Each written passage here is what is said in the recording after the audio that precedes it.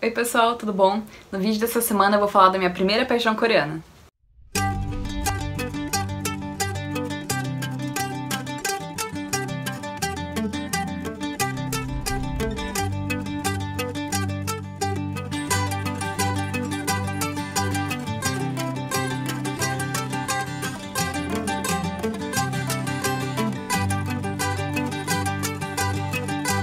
E aí pessoal, tudo bom? Eu tô muito sumida, é verdade, sumi faz um mês. É, eu parei de fazer vídeo quando eu comecei a trabalhar aqui no Brasil. E foi assim, super corrido, ter que me adaptar de novo. E realmente não dava tempo pra fazer vídeo, porque todo o tempo livre que eu tinha, eu queria descansar. Mas no vídeo dessa semana eu vou falar de uma história bem antiga. Aconteceu em 2015, quando eu tava morando na Irlanda, em Dublin. E durou aí... Eu fiquei em Dublin um ano, né? Mas eu acho que a história durou em torno de uns seis meses, mais ou menos. Como vocês sabem, eu sempre fui viciada na cultura coreana, sempre assisti muitos dramas, muitos filmes. E em Dublin tem muitos coreanos. Então é metade brasileiros, assim, praticamente, outra metade coreanos. É uma brincadeira que eu faço. E pra mim, é verdade. Assim, tem muitos outros estrangeiros, mas a divisão é muito grande e os meus amigos, assim, na escola, realmente era mais ou menos 50-50 dessas nacionalidades. Daí, nas reviravoltas de Dublin, eu frequentava um grupo toda quinta-feira da cultura coreana. Então lá iam muitos estrangeiros, iam os coreanos para conversar, fazer amizade e tal. E eu tava frequentando toda quinta-feira. Daí eu acho que na, no segundo encontro, segundo ou terceiro encontro, eu conheci um menino e ele não falava muito inglês, estava praticando. Meu inglês sempre foi fluente, então as pessoas acabavam vindo conversar comigo para ajudar, né? Sempre foi muito constante. E acabamos fazendo amizade. E assim, de cara, na verdade, eu fiquei interessada no amigo dele. Só que a gente tava sempre num grupinho de 4, 5, né? Então ficava nisso. Daí a gente foi pro Oktoberfest. E nisso foi eu, uma amiga e os dois meninos. E a gente se divertiu, tudo, mas já no caminho eu percebi que eu não tinha nada a ver com um amigo dele, de personalidade, gostos pessoais e tal.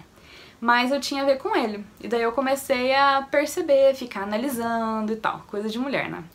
A gente fica olhando e daí eu comecei a perceber, comecei a gostar, começamos a conversar mais e a gente passou a sair muito. Então a gente se via toda quinta-feira e uma ou duas vezes por semana, além disso, a gente saía. Ou ia pro cinema, ou ia passear na cidade fazer alguma coisa turística, só que ficava sempre nisso só.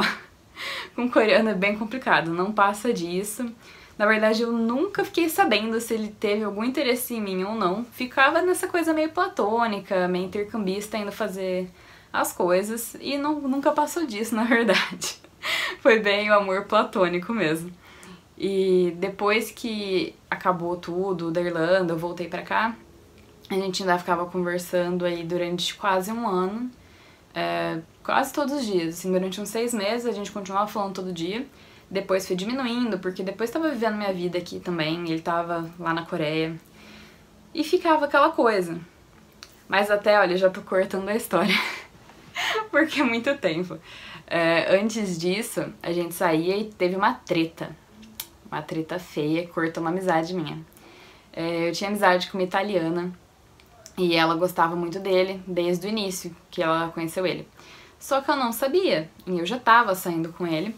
E um dia ela me falou, e eu não sabia o que fazer. Daí naquela infantilidade, né, dos 22 anos, será que é a cidade que eu tinha? Uns 22 anos, eu acabei não falando pra ela que eu também gostava dele, que a gente tava saindo, e ela acabou descobrindo. Eu fiquei saindo escondida, por assim dizer, né? É, e daí quando ela descobriu, a gente cortou a amizade. Foi bem triste.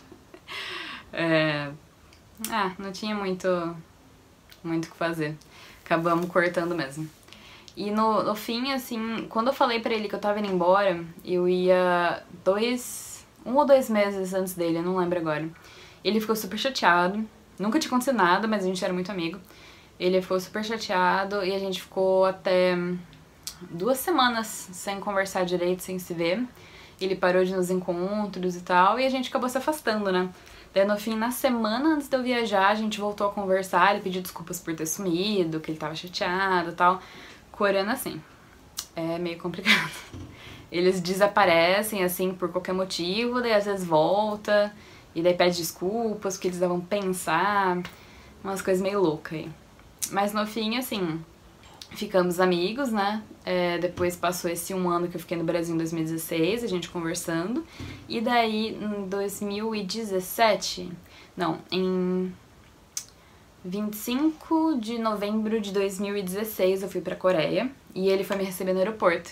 Então ele me ajudou muito, me recebeu, me ajudou, me levou pro hostel, me levou pra jantar, me deu dinheiro até.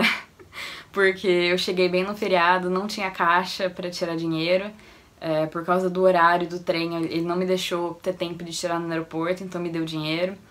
E depois disso, a gente ficou quase um ano, se não foi um ano mesmo, sem se ver outra treta dos coreanos, eles desaparecem por muito tempo quando você não mora perto deles, ou trabalha perto deles, ou trabalha no mesmo lugar, por assim vai.